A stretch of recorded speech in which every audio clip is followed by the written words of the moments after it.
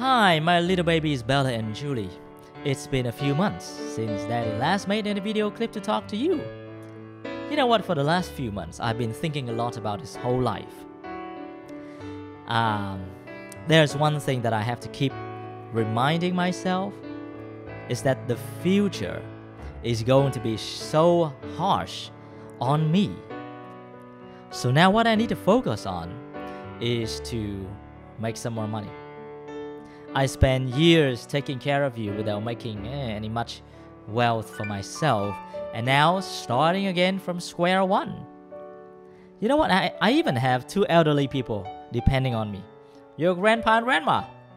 They will depend on me in the few years to come. And then in the future, I'll have some wealth for myself.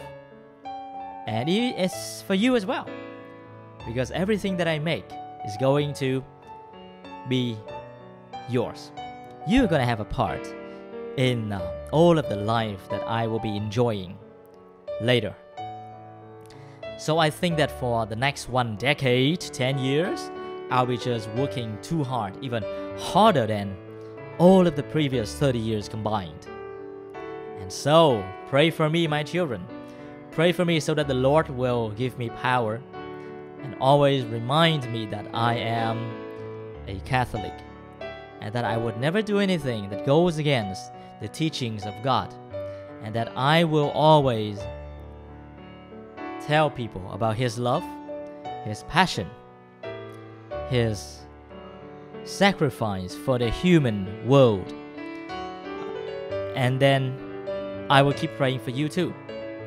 Remember, Bella, the only thing that I've always tried to tell you is remember that God is there. And the moment you still have faith in Him, you will be just fine. Look at the statues of Mother Mary at home. Look at the statues of Saint Joseph. Look at the statues of the Holy Family with Jesus in the middle. And you pray. Deep inside, you know that Daddy is always right. I have never been wrong about God. God has protected me. And He will protect you. The two of you. If you have faith in Him. He'll protect you forever. He will always provide for you as He has provided for me. Bye. I'll see you tomorrow.